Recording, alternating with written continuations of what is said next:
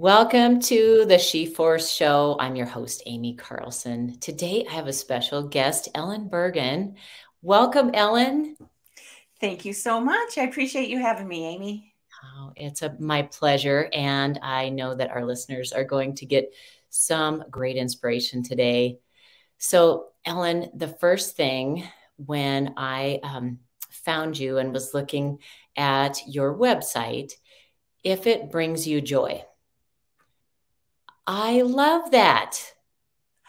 Can you tell me a little more about how you came about with the name? Sure. I I was um, looking for something to. I, I was just um, not feeling challenged, not feeling fulfilled in my job. So I was looking for something uh, to kind of challenge myself and maybe have a creative outlet. And so I decided to start a blog. And every domain name that I tried was already taken. And I can clearly remember the day I was driving, I know right where I was, and I came up with if it brings you joy. And I pulled over, I checked, and it was available. So as soon as I got where I was going, I purchased it. And it just made me so excited because the word joy really resonates with me and so that was it. If it if it brings you joy. I love it. I love it. And that you can remember the whole thing you know when clearly like it was yesterday but it was 2017 yes. And so it obviously brought you joy. It did. So how did you get started with your business? Well around the age of 50 i was in what should have felt like the perfect career, you know, the perfect position. Um, I had great pay, I had great benefits, worked with some fantastic people. But for me, the fulfillment, it, it just was gone. You know, it, it was more about me than the job. Um, so I um, started to kind of do a lot of soul searching and I actively pursued different routes, including my blog. Um, you know, I would do some research or go exper- experience something, read a book, and then I would write about it. And so it kind of very quickly moved into a personal growth type blog. Whereas at the beginning, I may have t- talked about other things that brought me joy, like you know, home decor and things like that. So I did a lot of research, and one day I was talking with someone, kind of talking about the fact that I know there's something more for me, and it's not the world of IT, which was the industry that I was in. So she said, you know, after talking with me, she said, "Do you ever think about being a life coach?" I'm like, mm, "No, no." And then I I went home, and she just kind of planted the seed. So I did some research, including um, a, looking into podcasts because I'm kind of a podcast fanatic. And I found one about coaching and I binged every single episode. And it was with Rhonda Britten from the Fearless Living Fearless Living Institute. And she was then offering a 30 minute laser coaching. So I did that. And within one month, I was flying to LA for a long weekend intensive um, to kick off the start of her life coach training program. Cool. So you, um, Fearless Living, you did it when you joined that within that first month. Yeah. right. Yep. And it was a, a year long um, certification program um, it's quite rigorous, and it's the only one of its kind that really specializes in fear and you know how fear lives in our brain and part of our neuro- neurobiology. That is fascinating, and because I saw that um, fearless living, and so when we read that, we might have one idea of what that means, but then when you just mentioned that it actually addresses the fear that we have in our brains um, exactly. yeah. Can can you elaborate a little bit more on that and how it uh, works into your the coaching that you do? Sure. Um, well, a lot of people say, "Oh, I, I don't have fear," Um, you know, I, I, just don't think that's keeping me from my confidence. And um, the the thing about fear is, like I said, we have a fear center in our brain. So if we're human, we have some fear. It's just a matter if we are aware of how it is affecting our behavior. And fear has all kinds of little tricks that it uses to keep us from um, step, basically stepping out of our comfort zone because fear has one and only one job, and that's to keep us safe. So we can't get rid of fear altogether, nor would we want to. I mean, it keeps us uh, physically safe, in additionally to emotionally safe. So we don't want to be walking into traffic or we don't want to be you know going up to a wild animal or something like that so our fear does keep us safe in that aspect and we need it in order to to stay alive what we don't need is fear keeping us from going for the life that we want but fear hasn't um, progressed since basically caveman days um, and, and, and we're living in a whole different world, but yet our fear hasn't um, grown with us uh, as humanity. So it doesn't realize that what happened to us as children, or even our aunt, what happened to us, our ancestors, um, that yes, maybe things did happen that affected us as a child, yet we're grown adults and we can handle so much more today, but it still uses these tricks to keep us in our comfort zone because it needs to keep us safe. And that means it doesn't want us to feel emotionally um, uncomfortable. You know, it doesn't want us to feel disappointed. It doesn't want us to fail. It doesn't want us to, to feel any of those feelings that um, it thinks is unsafe. Yeah, yeah, that makes sense. So, how do you see people's confidence grow as they work with you? Because I'm, I'm kind of thinking that that's one of the ways, you know, working through fears, taking some actions. And as we take actions, we build confidence. Um, I would love to hear some of the things that you see with your clients as they progress the first thing that we generally work on is awareness. And that's awareness of how fear is affecting them and how fear is making them behave in ways that don't support their goals. And that can be a little eye opening sometimes because we tend to live on autopilot, just. Unconsciously go through our life, and we don't realize uh, how fear is holding us back. So we work on the awareness of how it is affecting them individually. And I say individually because truly it affects each and every one of us very differently. Um, we all have, you know, different childhoods, different experiences in life. So it's very unique to each of us. And so once they start having this awareness of how fear is holding them back.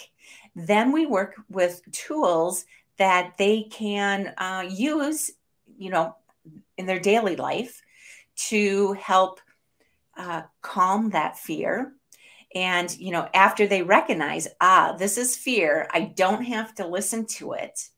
And then they can use these tools to help build their confidence and really um, internally be able to validate themselves rather than looking for external, having to have external validation um, from other people or other things that can potentially disappear. When you can really internally validate yourself, that's when your confidence can really start to shine.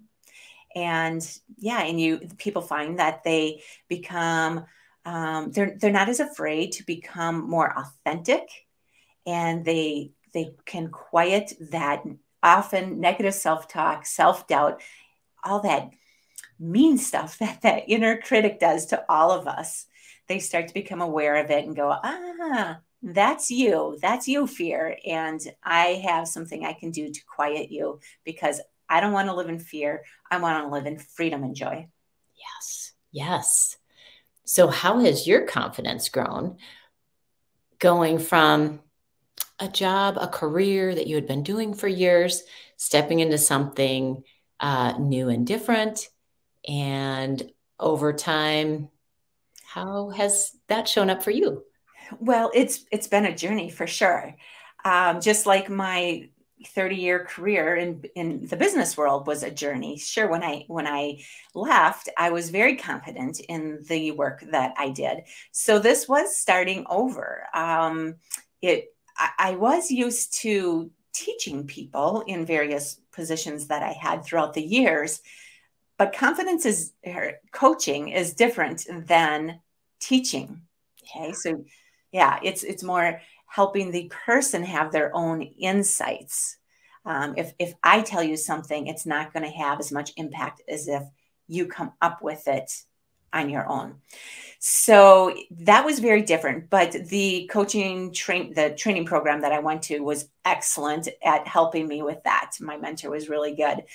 And so when it, after I graduated, I I had hired a business coach and honestly, it didn't work out. And here's what I found, Aimee, is that I was trying to be what I thought a coach should be. You see it all over the internet. Be a six-figure coach, be a seven-figure coach, you know, and and so I thought that that's what I was supposed to want.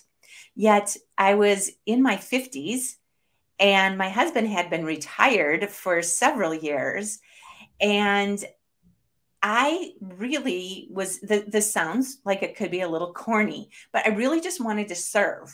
I I um, considered my my career kind of at a close, and we were comfortable with our lifestyle, and so this coaching chapter was for me, and um, so I could kind of um, grow my soul and do something that I loved um, and and so yeah i i certainly didn't have the confidence at the beginning especially when people were telling me what i should want yeah. but once i really worked my way through there and figured out what is it that i really want yeah. and then i zoomed in and i i i couldn't be all things to all people and I really embrace the fact that the people who will want to be a client of mine and who will benefit from my coaching are going to either like me or not. And if they don't, then they're not, we're, we're just not the right fit for each other. And there's plenty of other coaches out there that will be, be a good fit for them. So I stopped worrying about what I was supposed to be doing and just started doing what I authentically wanted to do. And um, yeah, and I did my thing and I just take so much joy in working with each individual client. And that's another thing. A lot of times people will try to say, oh, you should do group coaching. You know, that's where the money's at. Like, well, my style, I'm more of an introvert. So my style of coaching is one on one. That's what I enjoy. Yeah. And so I really accepted that I'm doing one on one coaching. That's what I do. If people want group coaching, then then there's another group for waiting for them. Yeah. So yeah, kind of I really had to feel my way through it and once I really figured out what worked for me, for my life, then that's when the confidence really started to grow. And as I see my clients having success, that's that that's what I'm doing, what I'm doing. Yes. That's why I'm doing what I'm doing. Yes. That's your why. Yes. So you started um, living what what your website is called if it brings you joy and i can relate the whole um, having been in a different career and then coming into this online space and then going through some self doubt, you know, like, ah, uh, and then listening more than I needed to, probably to what other people were saying. And um, then what you landed on is what brought you joy. Absolutely. It looks like this. It's one-on-one coaching for me. Here's here's here's what my own goals are and they may be completely different than everything else I'm hearing outside of me. Right. And and it didn't come just, you know, like a, a you know flip of a switch yeah. and it didn't come overnight and i did have to take action that did not feel comfortable it was definitely out of my comfort zone to do a lot of the things and for instance you and i met on instagram and that was definitely creating videos was not in my comfort zone but now i find it as a, a really creative outlet that that i enjoy um, but i had to take the first step and just create a video and put it out there. And then um, the more I did that, eventually it became part of my comfort zone. So, mm-hmm. just like anything, that's just one example, but I definitely took a lot of steps out of my comfort zone to get to where I am today. Yeah. Yeah. And you just mentioned the word creativity. Creating videos uh, taps into your creativity have you noticed any other things about what you're doing now, whether it's in your business or maybe kind of as a byproduct of, of coaching that has enhanced or really um, plugged into your own creativity? Hmm, that's a really good idea. I mean, that's a really good question. Um, you know, all the different social platforms are definitely fun. Um, and when I put my own touch on my coaching packages that I offer, that I think is really creative too. And I incorporate feedback from my clients. And so I'm always improving. Mm-hmm. And I find that to be creative. Yeah. Um, yeah. And because I enjoy it. And it's, um, yeah, it's just something I enjoy. And I do have a blog. I don't write as often as I used to, but I love writing, and that's a creative outlet for me as well. Yeah, for sure. Yes. So, what's next for you? Do you have anything on the horizon, whether it's a, a distant horizon or kind of a sooner thing that uh, you're working on or thinking about? Well, I'll just back up for a moment. When I started my blog, I always knew my blog was taking me down a path that that wasn't the the end all. That it was taking me to what I knew I wanted something more in my life. So it took me to life coaching. So I'm very grateful for that. And do I think life coaching is the end? You know, I'm not sure. Mm-hmm. I am just enjoying the process of um, going from the blog to coaching to improving my coaching and enjoying every moment that I coach. So I am open to where the universe wants me to go. And right now, I'm very satisfied with coaching. I do um, have a different um, work life balance from most people because I do like to spend time with my husband as we are retired. Um, so I do keep my practice a little smaller than probably most coaches. And um, so, yeah, I just really, right now, I, am just enjoying coaching and I um, am open to where I might go. And things that interest me are things that just kind of help um, advance my soul. You know, maybe maybe Reiki is in my future. There's all sorts of things that I'm not ruling out. I'm just going to enjoy the process of having it all revealed to me in the perfect time. And I like what you just said. Advance my soul. What will advance my soul? Yes.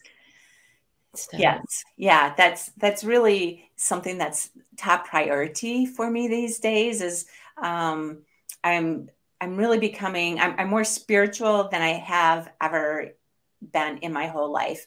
Um, not so much religious, very spiritual. So just that um, finding that oneness with with God and really everybody, and just learning more and more um, how we're all connected and how I can help the world and you know send my light let, let my light shine out there yes be the lighthouse yes well before we wrap up is there anything that you would like to um, you know send the audience off with a thought or a tip or anything Sure. This is a saying that has helped me. I learned it in my my time at my um, at the Fearless Living Institute, uh, the training program, and it's do what you can, when you can, the best you can, because personal growth, inner work, it is a lot of taking a look at yourself and having to be real honest with yourself. And so that takes a lot of self compassion so you don't get overwhelmed and so you don't start beating yourself up and letting that inner critic take over even more.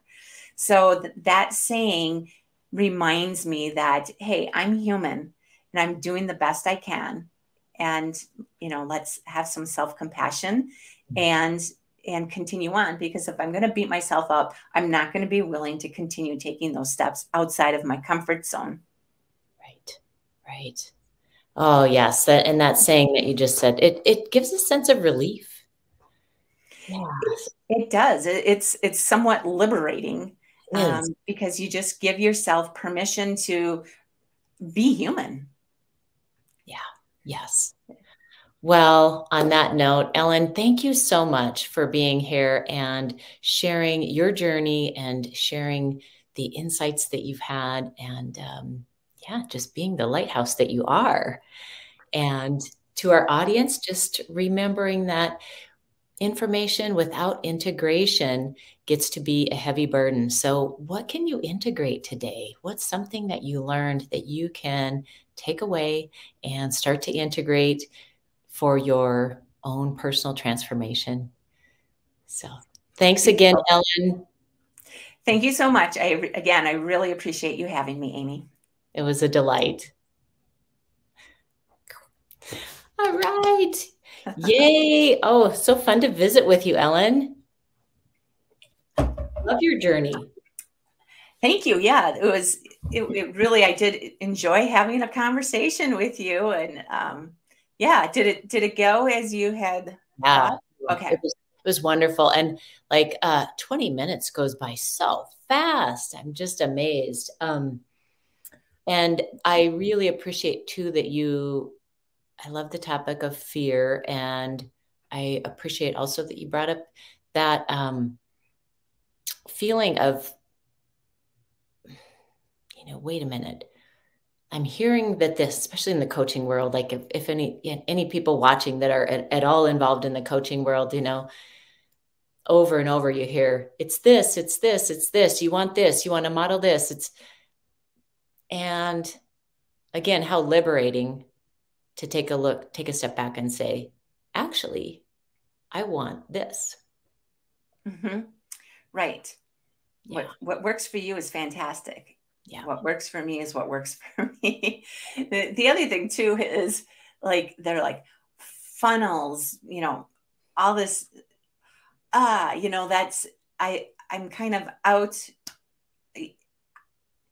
if I really wanted to have a full time coaching practice, of course, I would need to do more than I'm currently doing.